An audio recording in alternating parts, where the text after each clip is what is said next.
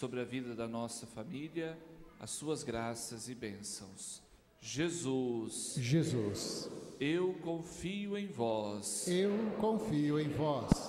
Peçamos a doce e a preciosa intercessão da Virgem Maria. Ave Maria, cheia de graça, o Senhor é convosco. Bendita sois vós entre as mulheres. Bendito é o fruto do vosso ventre, Jesus.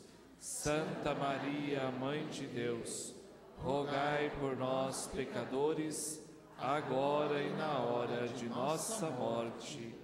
Amém. Que as palavras do Santo Evangelho perdoem os nossos pecados. Amém. Amém. Podem se acomodar? Louvado seja o nosso Senhor e Salvador Jesus Cristo. Para sempre seja louvado. Meus queridos irmãos, minhas queridas irmãs, hoje celebramos o trigésimo domingo do tempo comum. Para quem se recorda, no domingo passado nós meditávamos a parábola do juiz mau e da pobre viúva. E nesta parábola, Jesus nos ensina o valor da oração, a importância de rezar sempre, sem, sem jamais deixar de fazê-lo. Jesus apresentava um juiz mau, injusto, bem contraditório, né? E uma pobre viúva. E esta viúva, de tanto insistir e perturbar esse juiz, esse juiz disse: Ah, eu vou fazer justiça para esta mulher para que ela me deixe em paz. E assim o juiz o fez. E aqui nós podemos imaginar: se aquele juiz que era injusto fez o bem àquela mulher, àquela pobre viúva, o quanto mais Deus fará por cada um de nós. Ele que é bom, ele que é rico em misericórdia, ele que é maravilhoso. Quando nós pedimos, Deus sempre ouve os nossos pedidos, as nossas orações. Já no evangelho de hoje, Jesus ele continua com o tema da oração. Só que Jesus, ele nos apresenta a oração e uma virtude que nós temos que ter na oração. No domingo passado, nós percebemos que Jesus nos mostrava o valor da oração e que a oração ela tem que ser feita com um coração verdadeiro, ou seja, nós não podemos apenas rezar da boca para fora. A oração, ela tem que nascer do nosso coração, tem que ser algo sincero, não somente exterior, somente para que os outros possam ver, mas a nossa oração, ela tem que nascer do nosso coração. Já hoje, no evangelho de hoje, Jesus nos apresenta uma outra parábola. E Jesus usa o recurso das parábolas ou das, das histórias para nos transmitir a sua mensagem. E na parábola de hoje, Jesus nos diz que haviam dois homens. Um era fariseu e o outro era um publicano. Estes dois homens subiram para rezar no templo como nós estamos fazendo hoje aqui. Subimos até aqui, no centro de Itapsirica, aqui no santuário, para rezar. Nada diferente do que fez aqueles dois homens. Subiram até o templo para rezar. Subiram até o templo de Jerusalém. O templo de Jerusalém, para quem não sabe, era um templo especial para os judeus. Eles iam com devoção, com respeito, né, como nós fazemos hoje também, né? Nós quando vamos participar da missa, nós entramos na igreja com devoção, sempre procuramos chegar um pouquinho antes da missa, fazer uma oração, né? Como todos nós aqui costumamos fazer, né? Nos preparar, preparar o nosso espírito, o nosso coração, porque a missa é algo importante para nós, né? Então nós não podemos participar da missa de qualquer jeito, chegando atrasado, não.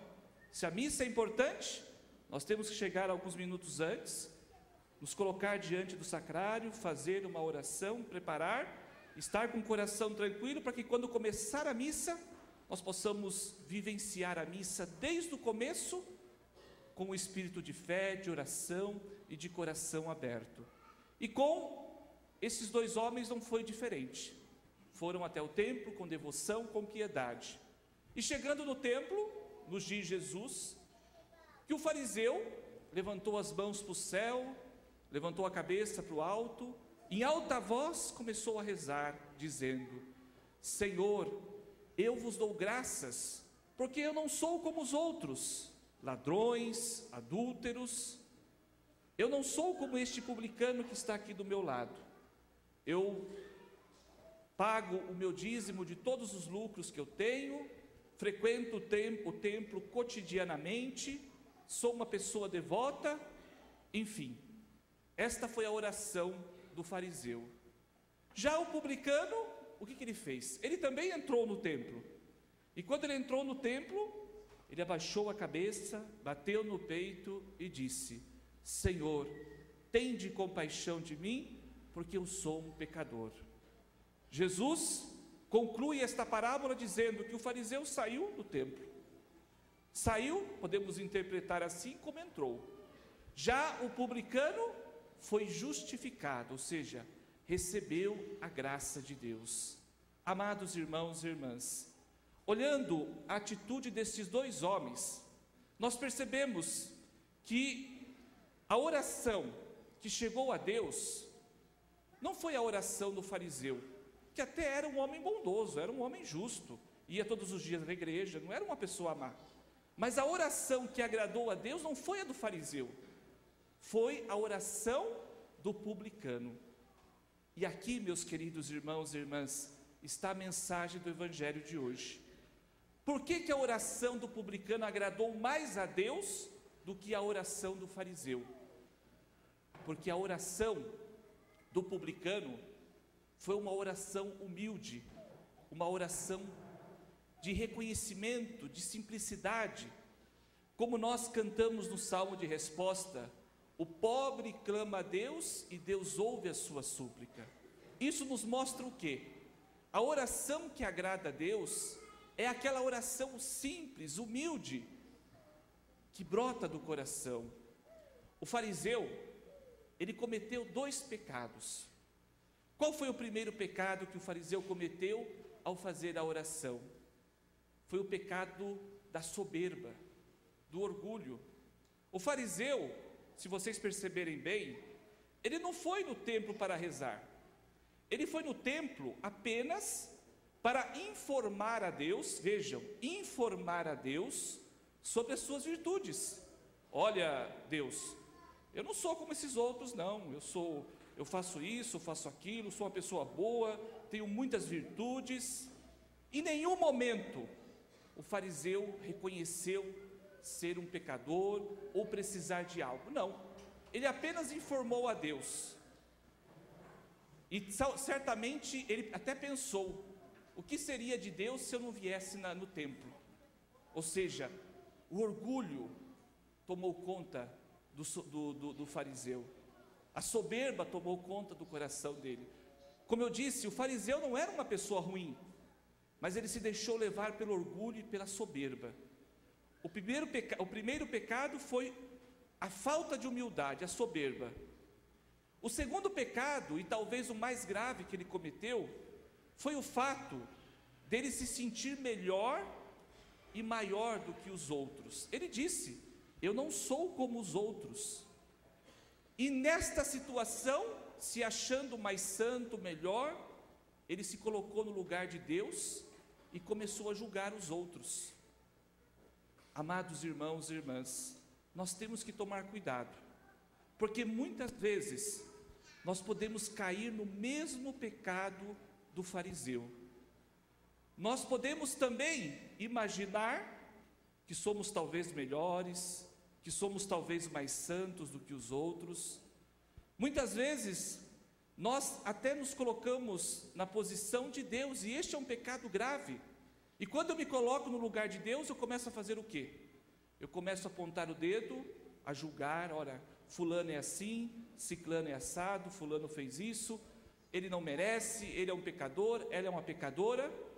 Eu começo a fazer distinção de pessoas. E isto Deus abomina. Não sei se vocês prestaram bem atenção, na primeira leitura tirada do livro do Eclesiástico, o autor vai dizer que Deus não faz acepção de pessoas. Deus não discrimina ninguém. Deus acolhe e ama a todos. E foi justamente o contrário que o fariseu fez. Ele, se sentindo melhor, começou a julgar, a condenar, a apontar o dedo. Nós, meus queridos irmãos e irmãs, não podemos cometer este mesmo erro. A nossa oração tem que ser igual à oração daquele publicano, que era uma pessoa ruim, sim, explorava os outros, sim, mas no momento em que ele se colocou em oração, e com certeza naquele momento ele se converteu, ele bateu no peito e disse: Senhor, tem compaixão de mim, que sou um pecador. Esta, meus queridos irmãos e irmãs, é a melhor oração que nós podemos fazer. Nós sempre precisamos da misericórdia, nós sempre precisamos do perdão e da força de Deus. Muitas vezes, nós temos a falsa impressão de, de que com as nossas virtudes, com a nossa inteligência, com a nossa força, com, a nossa, com as nossas qualidades, nós podemos alcançar a salvação. E não. Por mais virtudes que tenhamos, por mais inteligentes que sejamos, nós sempre precisamos da misericórdia, da força e da graça de Deus. Então, a nossa oração, ela tem que ser uma oração humilde, verdadeira e sincera. No finalzinho do evangelho, Jesus disse uma frase muito bonita: Todo aquele que se exaltar será humilhado, e todo aquele que se humilhar será exaltado. Que nós possamos levar esta última frase para a nossa casa. Que todos os dias, quando nós nos colocamos em oração, ou quando nós formos à missa, que nós possamos nos lembrar desta frase: Quem se, se exaltar será humilhado, e quem se humilhar será exaltado. Louvado seja o nosso Senhor e Salvador Jesus Cristo.